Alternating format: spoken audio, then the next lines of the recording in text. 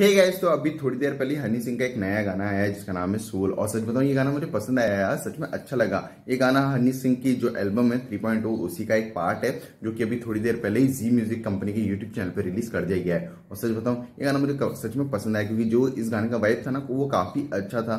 जो म्यूज़िक था, वो सच में काफ़ी वाइबिंग था। मतलब सच में वाइब करने का मन कर रहा था, और सच में सुनने में अच्छा लगता है यार। लिरिक्स भी अच्छे थे डेफिनेटली बहुत ज़्यादा अच्छे नहीं थे, लेकिन फिर भी जो वाइब सेट करते हैं ना ये म्यूज़िक और लिरिक्स वो काफ़ी ज़्यादा अच्छे हैं। डेफिनेटली हनी सिंह की म्यूज़िक काफ़ी सिंगिंग काफ़ी अच्छी है। म्यूज़िक उनका हमेशा कैची होता है और इस बार भी म्यूज़िक काफ़ी ज़्यादा अच्छा है। यहाँ तक बात है वीडियो की। वीडियो भी मुझे पसंद आया फिर चाहे निया शर्मा की बात करो या हनी सिंह की बात करो, सच में दोनों का ही कैरेक्टर जिस तरह से पोर्ट्रेट किया गया है, वो काफ़ी ज़्यादा अच्छा है। Specially Nia Sharma leading lady हैं और उनके अराउंड ही ये पूरा वीडियो बनाया गया और सच में उनका काम सच में काफ़ी अच्छा लगता है जिस तरह से उन्होंने अपने कैरेक्टर को पोर्ट्रे करा और उनका कैरेक्टर लिखा गया। क्योंकि ये कहानी एक लड़की की है जो कि अपनी लाइफ में हासिल कर रही है। तो किस तरह से वो हसल करती है, ये उसी के बारे में।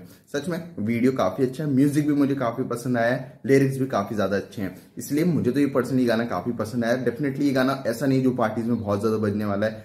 इन फ्यूचर पता नहीं, लेकिन फ़िलहाल के लिए तो मुझे नहीं लगता कि गाना पार्टीज़ में बहुत ज़्यादा बजने वाला है, लेकिन फिर भी अगर आप सुनोगे तो आपको अच्छा ज़रूर लगेगा। मुझे ये गाना पसंद आया, इसलिए मैं तो इस गाने को रिकमेंड कर सकता हूँ। बाकी अगर आप लोगों ने ये गाना सुन लिया तो मुझे कॉमेंट्स में ज़रूर बताना कि आपको ये गाना कैसा लगा। बाकी मिलते अगले वीडियो में, तब तक के लिए जय हिंद, जय भारत।